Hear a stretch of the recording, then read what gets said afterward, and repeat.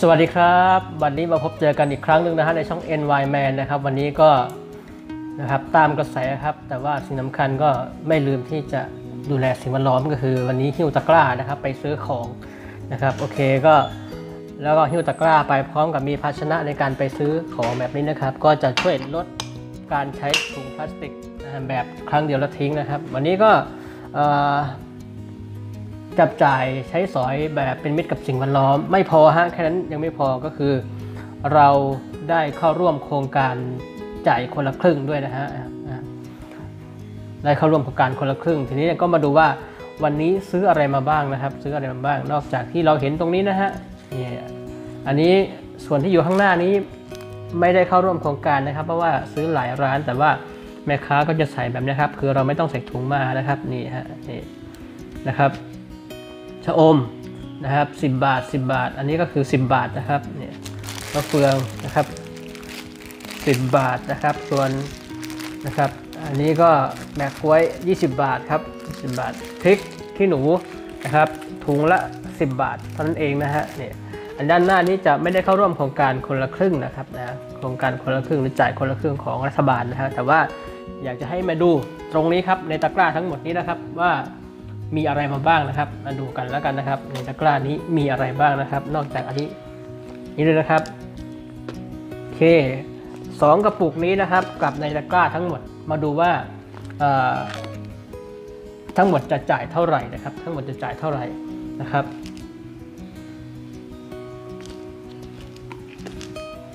โอเค เดี๋ยวมาเริ่มกันเลยครับว่ามีอะไรบ้างครับ อันนี้ก็มีเม็ด อันนี้เป็นเกากี้นะฮะเกากี้แดงนะครับ เดี๋ยวเอามาใส่สำหรับที่จะมาใส่พวกต้มจืดอะไรต่างๆนะครับ มีมีเกากี้นะครับ เราเอากระปุกไปใส่เองนะครับ กระปุกไปใส่เองนะครับ ก็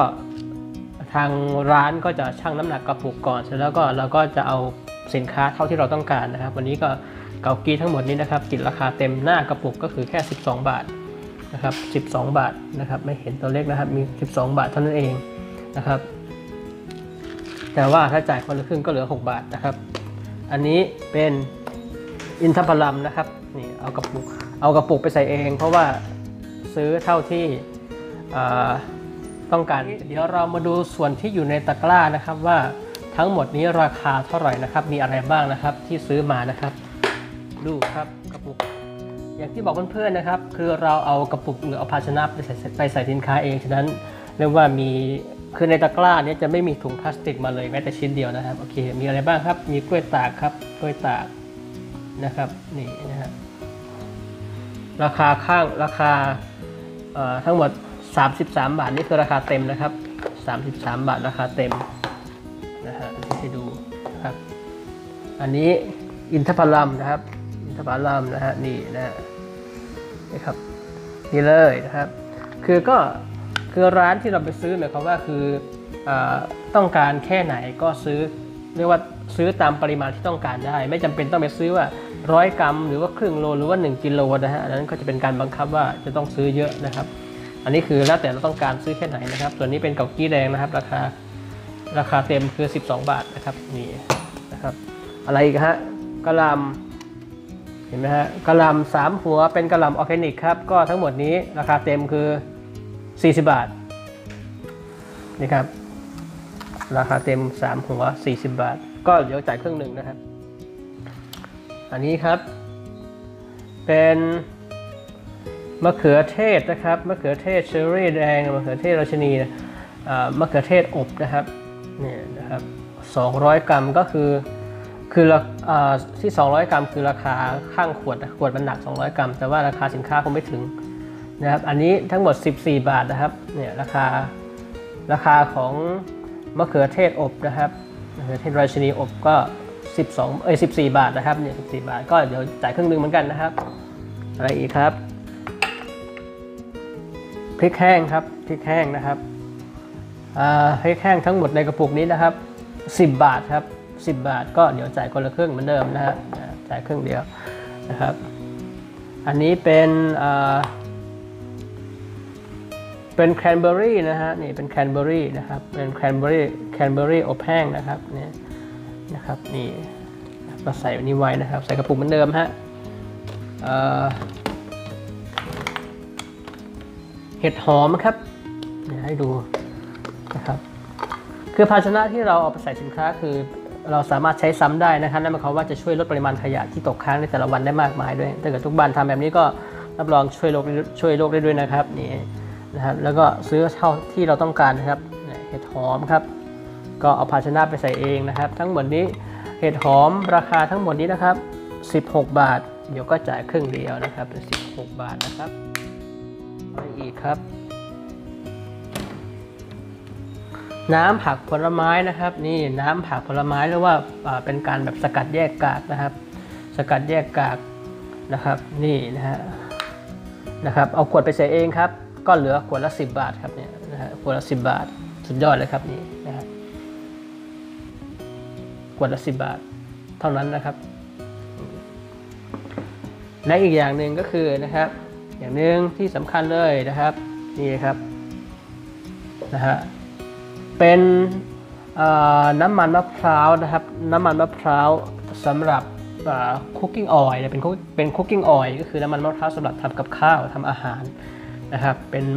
สกัดเย็นนะครับเป็นน้ำมันมะพร้าวสกัดเย็น แต่อันนี้คือเขาจะทำมาเพื่อเป็นเป็นคุกกิ้งออยล์คือทำสำหรับปรุงอาหารทำกับข้าวนะครับ อันนี้ราคาข้างขวดนะครับนะฮะ43 บาทครับเนี่ย43 บาทนะน้ำมันมะพร้าวราคาจะสูงนิดนึงนะแต่ว่า เอาขวดไปใส่เองนะครับ แล้วก็จ่ายคนละครึ่งนะครับ โอเคฮะทั้งหมดนี้ทั้งหมดนี้เลยนะครับ ทั้งหมดนี้เลยนะฮะนี่ทั้งหมดนี้เลยนะครับ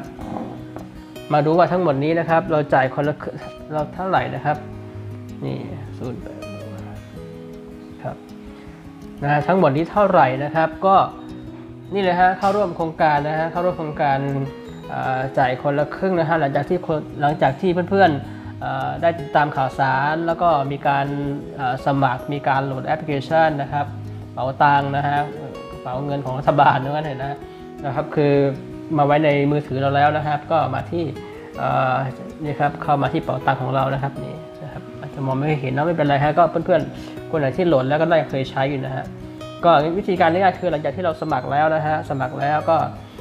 พร้อมใช้บริการนะครับ ก็มีเงินสำรองอยู่ในบัญชีนะฮะบัญชีในกระเป๋าตังค์ของเรานะครับก็ไปที่ G Wallet ครับนะเข้าไปที่ G Wallet นะฮะนี่นะฮะเข้าไปที่ G Wallet นะฮะนี่นะครับนี่น้าตาประมาณนี้ครับนะฮะสีเหลืองๆนี่นะฮะเข้าไปที่ G Wallet เสร็จแล้วก็ใช้สิทธิ์ครับเนี่ยกดใช้สิทธิ์เลยนะครับ กดใช้สิทธิ์นะครับ ก็จะมาหน้านี้นะฮะก็จะมาหน้านี้ครับนี่ไม่ค่อยเห็นนะฮะไม่เป็นไรฮะนะครับกดใช้สิทธิ์นะครับ กดใช้สิทธิ์เสร็จแล้วก็สแกน QR นะฮะสแกน QR นะครับสแกน QR เอ่อหมายความว่าพอเราสแกน QR ใช่ไหมครับ ก็คือทางแม่ค้าทางร้านเขาก็จะเปิด QR code นะครับอของร้านของเขานะครับ ให้เราสแกนนะครับ ให้เราสแกนนะครับ ก็พอสแกนเสร็จแล้วก็เป็นการแล้วก็กดยืนยันนะครับ กดยืนยันยอดเงิน ยอดเงินที่ต้องมีการชำระนะครับ ในการชำระแล้วก็เป็นอันเสร็จสิ้นนะครับ เป็นอันเสร็จสิ้นในการชำระเงินนะครับ ฉะนั้นทั้งหมดนี้ที่เราเห็นอยู่ข้างหน้านี้นะครับ นี่นะฮะจ่ายเพียงแค่เอ่อเดี๋ยวให้ดูอีกทีนึงครับนะเราจ่ายเท่าไหร่นะฮะเบ็ดเสร็จแล้วนะครับ ทั้งหมดนี้จ่ายไป 125 บาทเท่านั้นเองนะครับ125 บาทนะครับครั้งก็สิ่งแรกที่อยากจะเชิญชวนเพื่อนๆก็คือว่าถ้าเป็นไปได้นะครับหมายความว่าถ้าเราไปซื้อของนะครับที่มันไม่ได้ไกลจากบ้านเรานักนะฮะอย่างน้อยเรามีภาชนะนะครับบางทีเราซื้อของเยอะนะครับ ก็มีเราก็จะเอาตะกร้าไปนะตะกร้าไปแล้วบังเอิญว่าแถวบ้านเรานะครับมีร้านเป็น refill shop นะเป็นร้านค้าแบบ refill shop หมายความว่า เราสามารถเอาภาชนะต่างๆ ที่เรามีที่บ้านเรานะคือที่สามารถล้างทำความสะอาด แล้วก็สามารถใช้ซ้ำได้อย่างไม่จบไม่สิ้นนี่นะฮะใช้ซ้ำได้บ่อยๆนะครับโดยที่ไม่มีการปนเปื้อนนะครับ โดยเฉพาะภาชนะที่เป็นพลาสติกตัวเป็นพลาสติกสำหรับใส่อาหารก็จะซับเหมาะสำหรับใส่อาหาร หรือว่าสินค้าที่เป็นของแห้งนะฮะก็จะไม่มีการปนเปื้อนนะฮะรวมถึงภาชนะที่เป็นแก้วแบบนี้นะฮะคือก็จะสามารถช่วยได้ นะครับหนึ่งก็คือนอกจากเราจะสามารถช่วยชื้อโรคของเรานะครับ เพื่อที่จะลดปัญหาสิ่งแวดล้อมแล้ว อันนี้นะครับก็เราก็ปฏิบัติตามนโยบายของรัฐบาล คือรัฐบาลก็ได้จัดสรรงบประมาณส่วนหนึ่งมาเป็นโครงการนะครับไม่ว่าคนละครึ่งหรือว่าจ่ายคนละครึ่งนะครับเราก็เข้าไปสมัครนะครับ เข้าไปสมัครแล้วก็ไปโหลดแอปพลิเคชันนะครับไปเอาไว้ในมือถือของเรานะครับนะฮะจากนั้นก็วิธีการก็คือแค่ไปซื้อสินค้า ในร้านที่เขาเข้าร่วมโครงการคนละครึ่งนะฮะเสร็จแล้วก็เราซื้อสินค้าเท่าไหร่นะครับ เราก็จะเปิดเปิดแอปพลิเคชันนะครับเพื่อใช้สิทธิ์นะฮะแล้วก็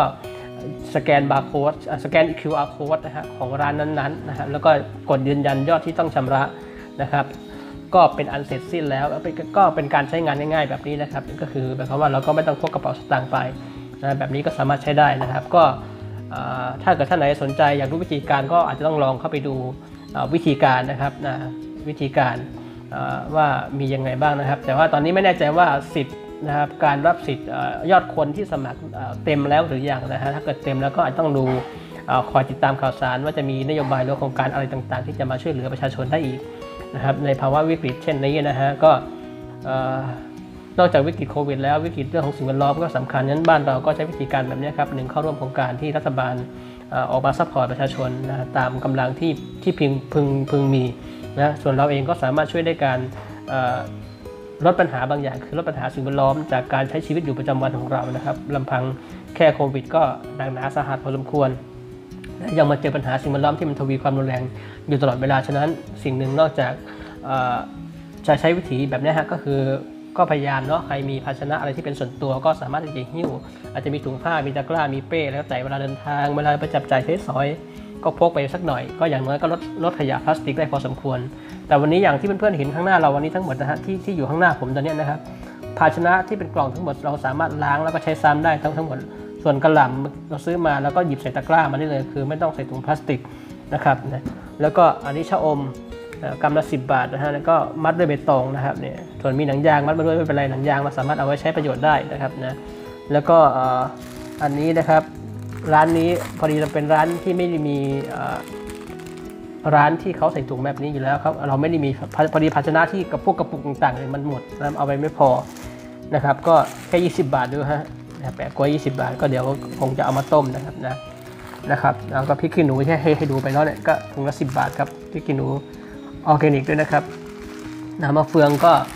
10 บาทครับนะอะโอเคนะฮะสำหรับเพื่อนๆ วันนี้ก็คลิปนี้ก็ยังไงฝาก